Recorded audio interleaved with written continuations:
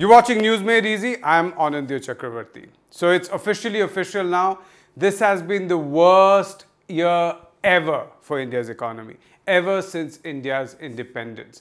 The last time our national income, which is the total income generated by all sectors, everyone in the economy, contracted or reduced was in 1979, 42 years ago during the oil shock when petrol prices went up across the world and there was a global recession. This time it's because of COVID. There has been a global recession. Almost every economy has been hit by it. India pretty badly. The only exception has been China, which grew marginally by about 2 odd percent in 2020. Now, um, for India, if we look at the GDP numbers that have just come out on Monday, uh, there are some green shoots, which is some positive numbers have come out for the first three months of this year. Now remember, GDP is calculated on the basis of fiscal years, which is 1st of April to 31st March of the next year.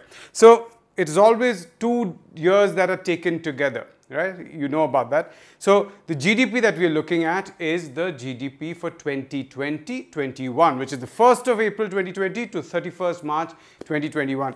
And the first three year, uh, months of this year, which is 2021, becomes the last three months of the fiscal year, right? Because January to March is the last quarter of the fiscal year. So Q4 or the fourth quarter of the fiscal year is showing some signs of recovery. Now, it's marginal, just a shade over 1%, 1, 1.5%.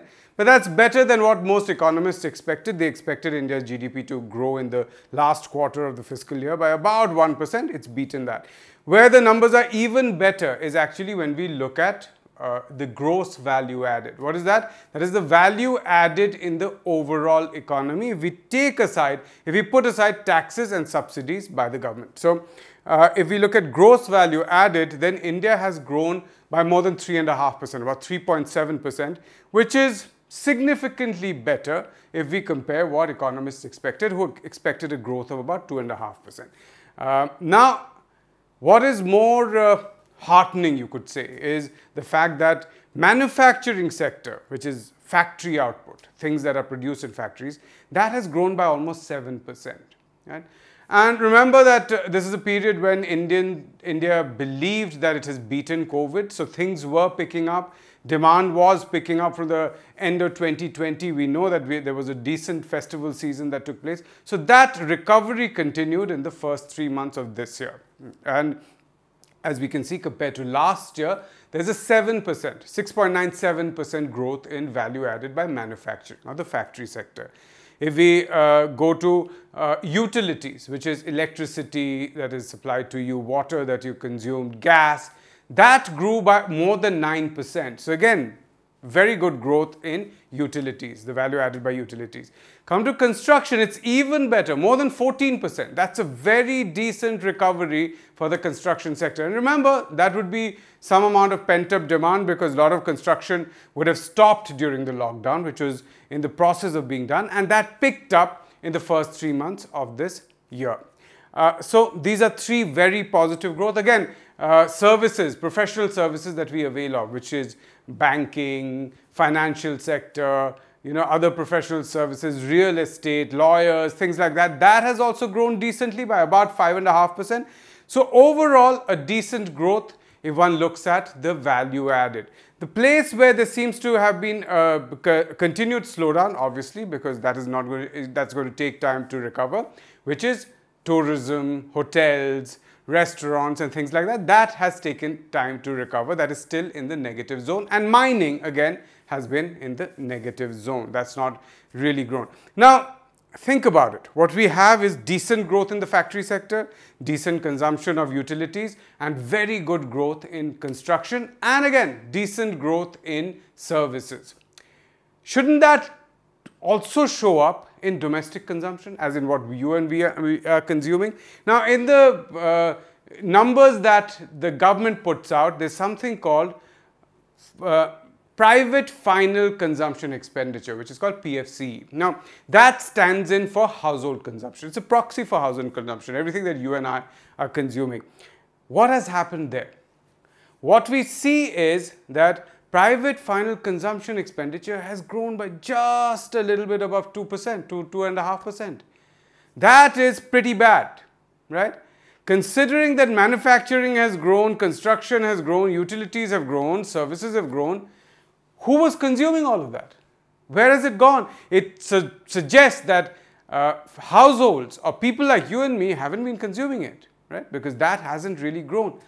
What has stood in for that is essentially government final consumption expenditure. Government has consumed and allowed these, uh, the government sector consumed and allowed these uh, factories to kind of uh, grow. It allowed um, utilities to grow and perhaps some of that construction is also showing up in the building of assets. So we are seeing government final consumption expenditure what the government spends has gone up by 28%. There's an interesting thing here that uh, if you look at the, uh, the way government final consumption expenditure is calculated, durables consumed by the defense department, which is the army, navy, etc., is actually put under government final consumption expenditure, even though it's a durable. It is something that is uh, uh, going to be used later. It's not considered to be a capital or equipment or machinery that will be used later.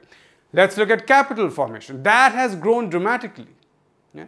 That again is a significant growth, capital formation, which is factories, new construction, uh, uh, machines bought, equipment bought that has gone up by double digits. What is a cause for concern is that um, inventories have also gone up by 12%. Inventory stock has gone up by 12%. So we're seeing capital formation, which is essentially things that will be that are used to produce later. It's a form of investment that has gone by, by 11%. Stocks have gone, stock and inventories gone up by 12%. So what are we seeing? Consumption demand in the economy has actually not picked up. It is the government which is standing in to consume. Its consumption has gone up by 28%.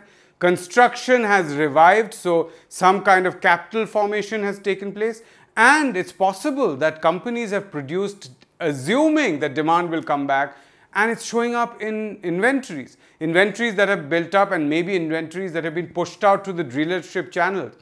Cars which might have ended up with dealerships, right? gadgets which have never ended up in dealerships but not been sold. So consumption has not revived. Now this is a problem. We know that the second wave actually peaked from April, May. So at least two months out of the three in the first quarter of this fiscal, which is 21-22, is going to see bad consumption growth, bad production, and yet an inventory which has been pushed out, yet investments for future consumption. So this is a worry. Now what that means is that when the economy begins to revive, demand begins to revive, there already be production out there. So manufacturing might not keep pace.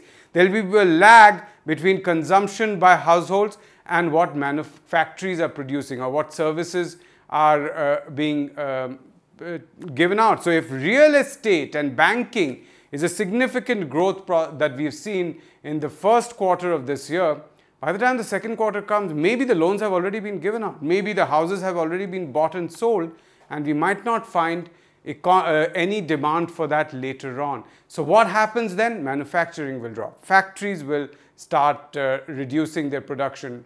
Manufacturing growth will drop. Services might taper off. And that effectively means even consumption of electricity, which a large part of which is actually industrial consumption, might actually drop. So these are problems because that means that we'll actually see growth in consumption but a drop in uh, things like manufacturing and investment. And therefore, that suggests that these green shoots that we're seeing might just be an illusion and we might end up with another collapse, another recession in this year as well. Maybe the GDP numbers will show growth because remember there was a collapse last year, right? In the middle of last year, there was a collapse in GDP. So you might see the next quarter showing a high GDP growth. But if 100 drops to 50, even a 25% growth on that 50 is what? Just 12.5%. You just go back to 62.5. So that will look like great growth, but it will still not be back to normal. So effectively, we will take a very long time to return to where we are, were in the pre-COVID period. That's the reality of the Indian economy and the only way to come out of it is to boost consumption demand and that only the government can do. The government has been sitting on it. It should have been done yesterday, but it's still not very late to do it today and tomorrow.